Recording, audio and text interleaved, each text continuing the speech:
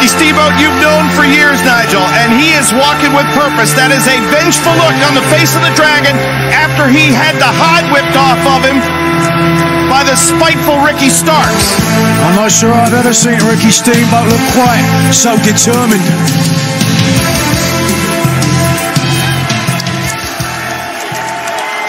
You know.